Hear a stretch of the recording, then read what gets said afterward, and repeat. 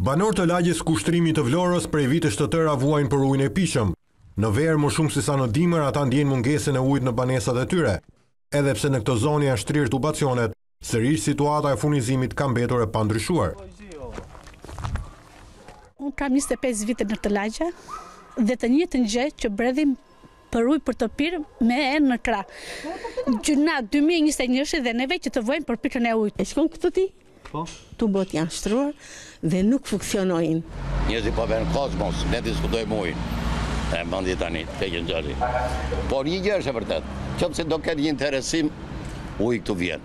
Interesim s'ka, populli vuan. Mungesë të ujit vete mbush në lagje, ja, me bidona me karrocë.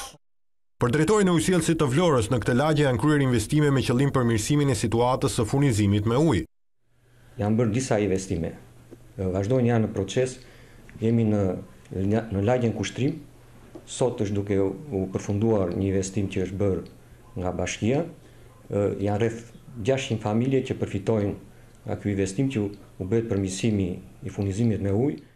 Në lidhje me këtë investim, vetë banorët shprehen se janë shtruar tubacionet kryesore, ndërsa në banesat e tyre askush nuk i ka lidhur, duke i lënë sërish pa ujë.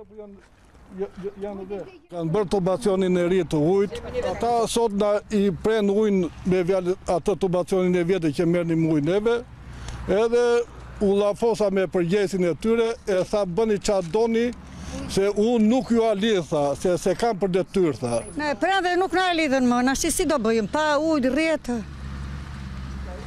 Jam kështu. Nuk kam kush të ma lidhë, jam vetëm. Një që do një vetë, tha. Do t'i lidhni vetë, tha. Po t'im në të lidhi mujtret ke gjenën, ja.